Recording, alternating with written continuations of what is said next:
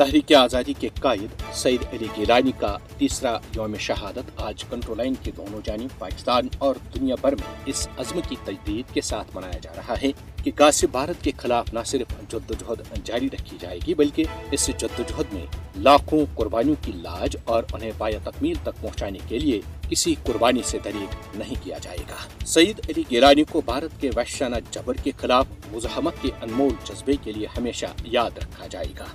सईद अली गिरानी, अली कश्मीर की जद्दोजहद आज़ादी और हक खुद इरादत का इस्तेरा है।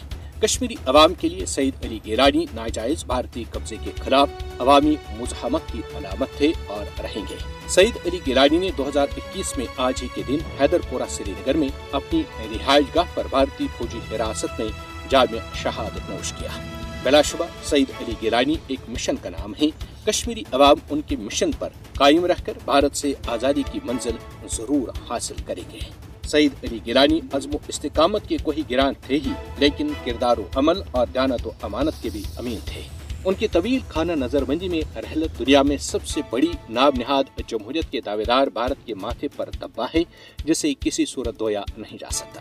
गो कि वो तीन मरतबा रियासती असम्बली के मेंबर भी मुंतब हुए, लेकिन उन्हें मसले कश्मीर पर अपने मज़बूत मौकफ से दस्तबरदार नहीं कराया जा सका। मसले कश्मीर पर उनका मौकफ चट्टान की मानद था, जो आखिरी सांस तक कायम उदायम रहा। सईद अली गिरानी बजात खुद एक तहरीक थे और सख्त तरीन सूरत और आजमाइश में भी उन्होंने साबित किया कि एक लीडर और कायद के कदम न तो डगमगा सकते हैं और न ही नज़रिया बदल सकता है।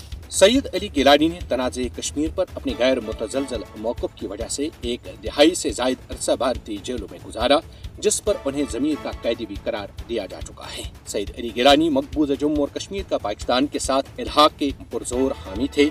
हम पाकिस्तानी हैं। पाकिस्तान हमारा है का नारा सईद अली गिलानी ने ही तकलीफ़ किया था, जो आज हर कश्मीरी की आवाज़ बन चुका है।